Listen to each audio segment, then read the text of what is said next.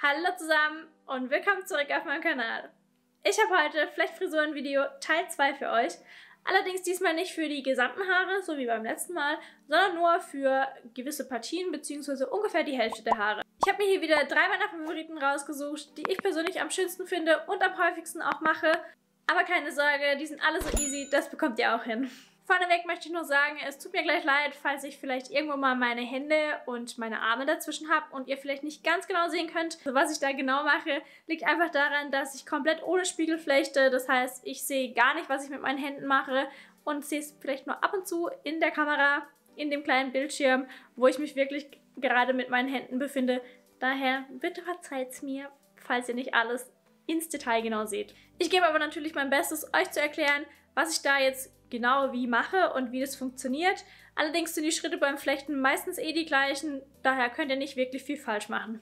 Jetzt habe ich allerdings genug rumgequatscht. Ich würde sagen, wir legen los.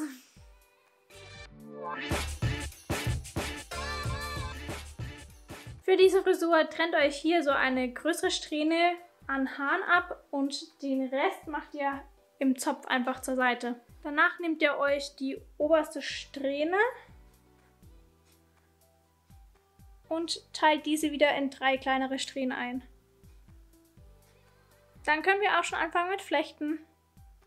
Beim Runterflechten nehmt ihr jetzt immer wieder Haare mit auf und flechtet es unter Spannung und so eng wie möglich am Kopf entlang.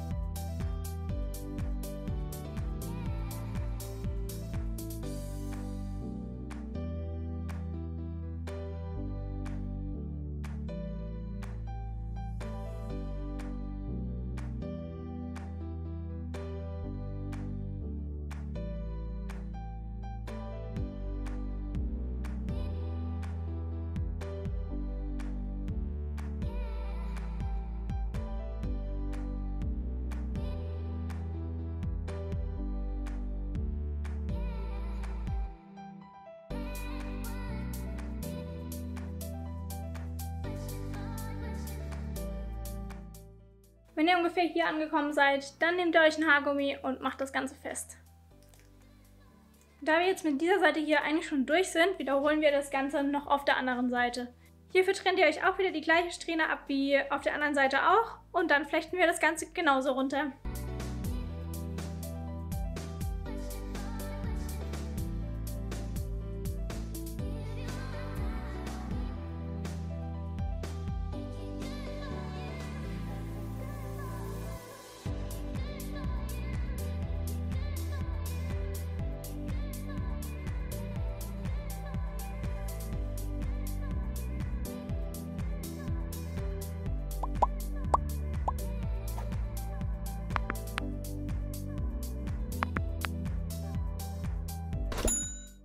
Nehmt ihr euch auch hier wieder ein Haargummi und bindet es einfach wieder zusammen.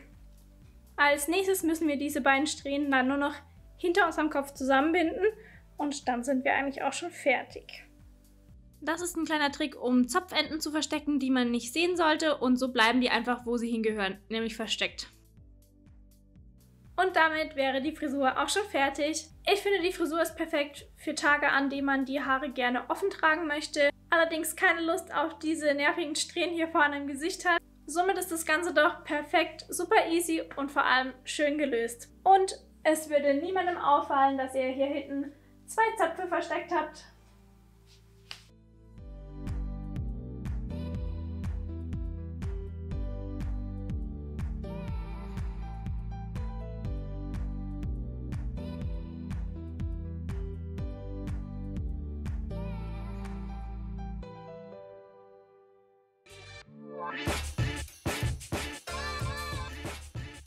Für diese Frisur brauchen wir auch wieder zwei Strähnen auf beiden Seiten, aber wir fangen erstmal mit der einen Seite hier an. Dafür nehmt ihr euch hier auch wieder eine Strähne weg und teilt diese auch wieder in drei einzelne Strähnen ein. Und dann beginnen wir auch schon wieder zu flechten.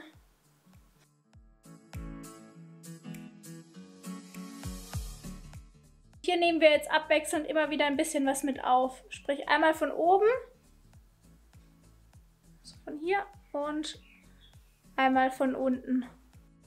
Das Geflochtene sollte hier nicht ganz zu streng sitzen, aber auch nicht zu locker. Also findet hier ungefähr die goldene Mitte, dass es noch schön anliegt, aber nicht zu streng sitzt. Zudem flechtet ihr es nicht gerade nach hinten, sondern so etwas schräg nach unten.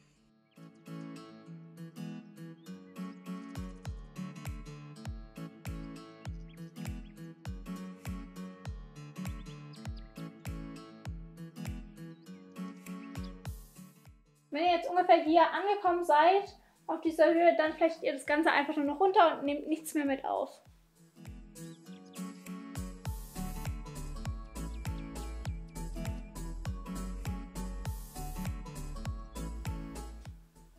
Das reicht auch wieder ungefähr so viel. Jetzt nehmt ihr euch wieder ein Haargummi und macht das Ganze fest. Eigentlich könnten wir das ja jetzt schon so lassen, aber ich habe mir eigentlich was anderes vorgestellt. Darum wiederholen wir das Ganze jetzt nochmal auf dieser Seite. Die Schwierigkeit ist jetzt hier, den Zopf auf die gleiche Höhe zu bekommen wie der hier. Und ich muss das Ganze noch ohne Spiegel machen, also drückt mir die Daumen. Hm. Das Ganze sieht so eigentlich auch schon ziemlich gut aus. Wenn ihr wollt, könnt ihr es so lassen und müsst ihr den nächsten Schritt überhaupt nicht mehr mit beachten. Keine Sorge, der letzte Schritt ist auch gar nicht mehr aufwendig. Hierzu nehmt ihr euch wieder einen Haargummi und bindet dann die beiden Strähnen eigentlich nur noch zusammen. Ich gehe dann immer noch hin und mache die einzelnen Zöpfe hier wieder auf. Das könnt ihr optional machen, müsst ihr allerdings nicht. Und zum Schluss ziehe ich dann die einzelnen Strähnen wieder ein bisschen auseinander. Mir persönlich gelingt die linke Seite immer besser als die rechte. Keine Ahnung weshalb, aber ja, fällt hoffentlich keinem auf.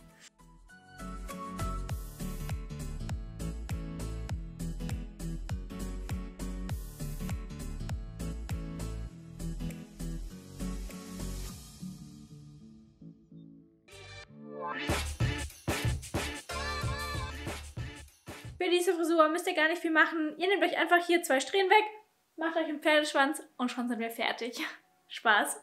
Ihr trennt euch einfach hierfür so ein bisschen größere Strähne ab und bindet dann den Rest im Zopf zusammen. Für mich persönlich ist es um einiges einfacher, die Haare einfach im Zopf dann nachher nach hinten wegzubinden, die ich nicht brauche, weil dann flechte ich nicht versehentlich irgendwas mit, was ich gar nicht mitflechten wollte. Ihr nehmt euch jetzt die Haare und nehmt euch hier vorne wieder so eine etwas kleinere Strähne, teilt die wieder in drei und fangt an zu flechten. Technik bleibt die gleiche, sprich immer unten drunter und rechts und links mit aufnehmen. Keine Sorge, das sieht jetzt erstmal schwieriger aus, als es wirklich ist. Ihr solltet nur darauf achten, dass ihr das Ganze relativ eng und fest an eurem Kopf entlang flechtet. Natürlich so fest, dass es nachher noch angenehm für euch ist und kontrolliert vor allem im Spiegel nach, ob ihr alle einzelnen Strähnen mit aufgenommen habt, weil ansonsten könnt ihr das Ganze nachher nochmal aufmachen und noch ein zweites Mal machen. Ich spreche da aus Erfahrung. Wenn ihr dann am Ende seid, dann flechtet ihr das Ganze einfach wieder bis so zur Hälfte runter. Ja, beziehungsweise ungefähr so viel reicht. Dann nehmt ihr euch wie immer einen Haargummi und macht das fest. Als nächsten Schritt trennt ihr euch dann wieder rechts und links auch so eine bisschen dickere Strähne ab, ungefähr wie die oben auch. Meine sieht jetzt ungefähr so aus. Links habe ich sie allerdings schon weggebunden, damit sie mir beim Flechten nicht gleich wieder im Gesicht hängt. Deshalb fangen wir mit der rechten Seite an und flechten die nach hinten. Für mich ist es immer ein bisschen schwieriger, vor der Kamera zu flechten, weil ich keinen Spiegel habe. Das heißt, ich kann nirgendwo reingucken. Und auf diesem mini kleinen Bildschirm erkenne ich ungefähr fast gar nichts. Das heißt, ich muss jedes Mal so nah an die Kamera ran, damit ich überhaupt was sehe. Weil ich brauche eine Brille. Das heißt, falls es bei mir mal nicht so schön aussieht, glaubt mir vom Spiegel, wird es um einiges schöner.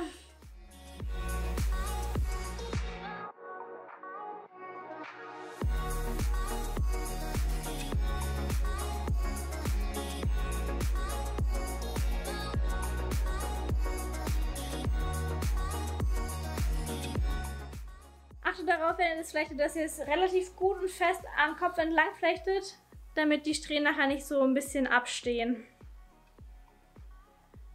So, die rechte Seite ist fertig. Die Flechttechnik und alles bleibt immer gleich. Immer unten drunter durchlegen, aufnehmen und dann so ein kleines Stück übers Ende hinaus flechten. Das heißt, wir müssen eigentlich nur noch die andere Seite machen. Also bis gleich. So, wenn ihr jetzt damit fertig seid, dann sieht das Ganze so aus. Um diese Frisur für mich so ein bisschen zu perfektionieren bzw. noch fertig zu machen und abzuschließen, mache ich mir persönlich am liebsten entweder einen Zopf oder einen Dutt dazu. Das Ganze sieht dann so aus.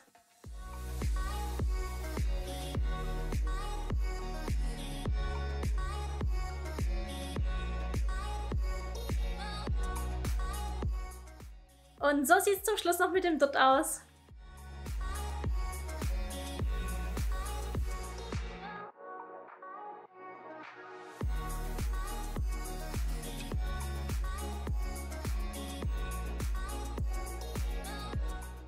Ich hoffe, euch hat das Video gefallen und falls ihr noch mehr Frisurenvideos sehen wollt, dann lasst es mich gerne in den Kommentaren wissen.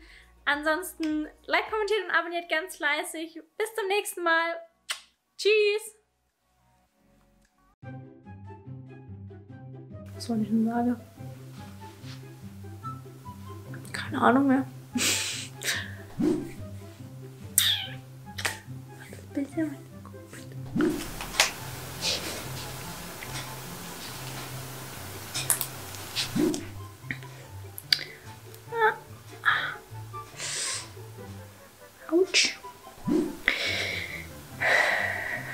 Und nun machen wir noch die linke Seite, linke Seite.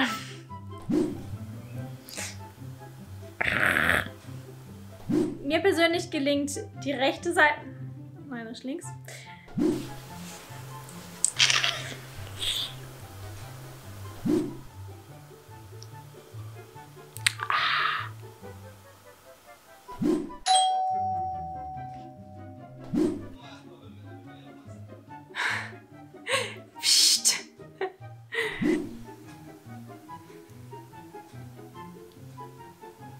Voll hell hier. Mhm. Wieso wird mein Gesicht nicht erkannt? Weil ich hübscher bin. Ich glaube eher. Und eigentlich war auch Augenerkennung drin. Also Stopp halt.